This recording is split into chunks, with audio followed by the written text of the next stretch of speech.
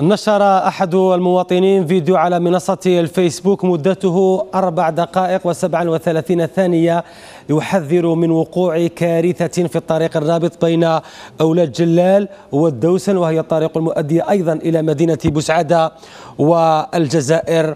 العاصمة. صاحب الفيديو حذر من وادي المعذر الذي يمكن أن يعود إلى النشاط من جديد في المنطقة التي تقع فيها الطريق خاصة وأن التشققات بدأت تظهر للعيان كما توضحه الصورة لدرجة أن الفرد يمكنه الدخول في هذا الشق. بفعل انجراف التربة بعد تأثرها بمياه الأمطار والشاحنات ذات الوزن الثقيل التي يمكن أن تسبب في كارثة لا قدر الله. لنتابع هذا الفيديو.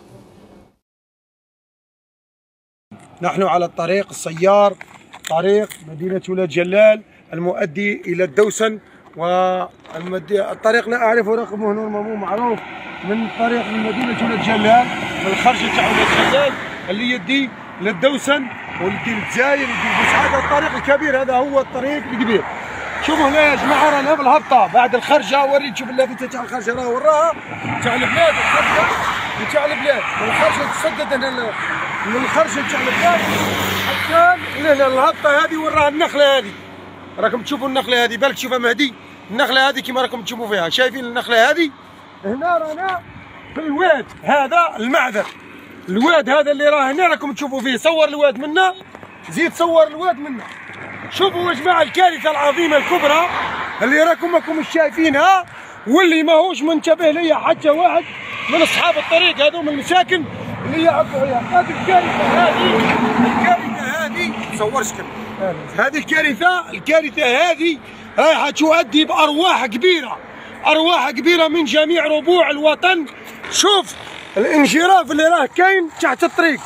شوف الكارثة الكبيرة اللي يوقع عليها. شوف شوف شنو صاير في الطريق من تحت. شوف شوف الطريق راه كل محفورة من تحت. شوف شوف فارقة صفر. معناها الرود راه محفور. والسميات اللي راه كل تعقب. معناها الطريق هنا كما راكم تشوفوا خطر كبير على المواطنين. طريق تخلع يا جماعة. شوفوا يا جماعة هما والحبس أصحاب الطوموبيلات. والحبس والطوموبيل شوفوا الطريق هذيك ما صاير لها. شوفوا يا جماعة كما راك تشوف. شوف يا جماعة وراني هابط شوف. هذه الهبطة؟ شوف شوف يا جماعة شوف يا جماعة شوف يا جماعة وراني هابط. شوف الطريق تحت الطريق واش كاين شوف. شوف. راك تشوف. ما تقدرش تتصور. شوف اش راه كاين تحت الطريق. مستخدمو الطريق والكثير من المتفاعلين.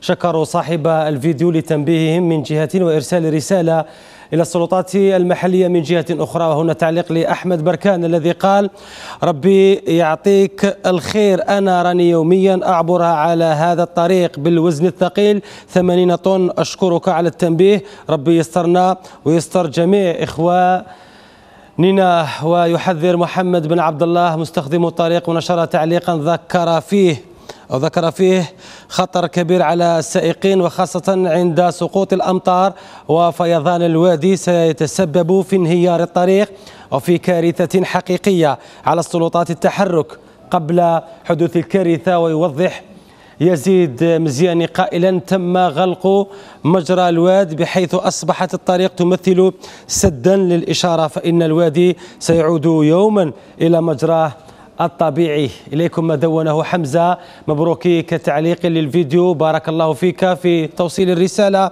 إلى المسؤول المباشر وكذا توعية المواطنين بخطورة هذه الطريق. مراد يشارك برأيه وكتب بارك الله فيك أخينا على الوعي والانتباه وإنذار السلطات والمواطنين على الخطر الذي تمثله هذه الطريق. ربي يلطف وربي يستر وختام تعليق بطلب المتفاعل صلاح الدين الذي كتب نطلب من السلطات المعنية في أقرب وقت بدء مشروع بناء جسر مزدوج وحل المشكلة من جذورها لأن فصل الشتاء على الأبواب.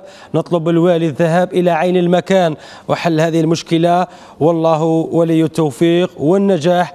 وشكرا جزيلا طبعا لإيصال رسالة إلى السلطات المحلية في ولد جلال من أجل تجنب الكارثة لا بأس من التذكير بحجم الخطر المحتمل جراء تآكل نقطة في الطريق الرابط بين أولاد جلال والدوسن من خلال هذا الفيديو.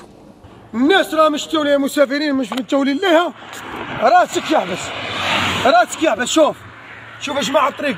شوف صور هنا صور هنا. صور كيف راني هابط. شوف يا جماعة شوف. شوف يا اللي ماك شايف يا المسؤول على أرواح المواطنين شوف.